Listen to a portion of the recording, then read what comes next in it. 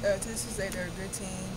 Uh, we want to just look. Uh, we haven't looked at the um, the film yet, but most likely we'll look at them in a few minutes. And um, I know a little bit about them just from being around the area. And they're um, fast-paced team, and we just want to play, uh, not play with them, but uh, play uh, play faster than they than they play. This is the last game for you guys. Had a really tough schedule between Stanford and starting the SEC play.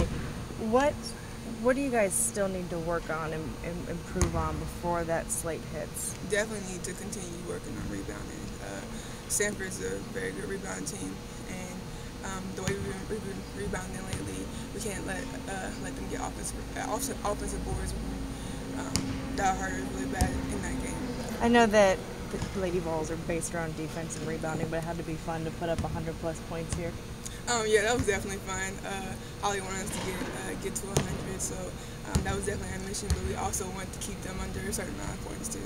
What did you learn from that game against Stanford last year? I know Shanae, Shanae came up really big in that game. What did you what did you kind of get out of that experience? Um, definitely. Um, I think we came into the game last year not prepared uh, mentally. Um, I think a lot of us are focused on going, sorry, uh, going home and not um, on that game. And um, um, came out had a very good game, a very good game against us, and I don't think we bo- boxed her out as well as we uh, should have. And um, we let their shooters get off a lot. Uh, uh, get the, let the shooters get off too, and we have to do a better job of that. Sure, you talked after Saturday's game about we need to play every game like we're playing a ranked opponent, regardless of mm-hmm. whether you are or not. Is that is that a little easier said than done? Sometimes when you get in, into games and you're, it's pretty obvious that you're physically superior to the other team. It's definitely a little uh, it's easier said than done because um, it's harder to get energy in those games. Um, we try our hardest to get energy, and it's, uh, it's really hard. But during a uh, during a game when you're playing a ranked opponent, it's a lot more easier to get uh, energy. But we need to work on that, and it doesn't matter who we're playing. So.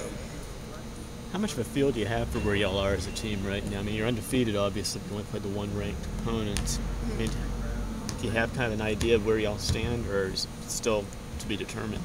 I mean, it's still to be determined. Um, we, we, we have a couple more ranked uh, ranked opponents coming up, like Stanford and uh, Notre Dame and uh, LSU too. So um, just looking forward to those games, and uh, those will definitely help us see where we stand.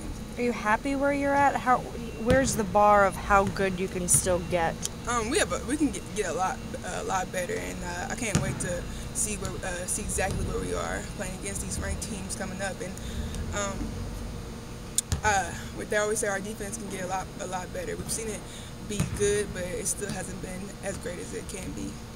What's your second? I mean, you look back to, to Saturday games. Obviously, you guys want to go over those turnovers and see where you can cut those down. So what's your thoughts about where you think you guys might be able to limit limit those turnovers a little bit more? Um, we definitely just slow down and um, just basically just slow down. I think we're just going too fast, trying to look for the first pass, and um, just that's how we're getting easy turnovers.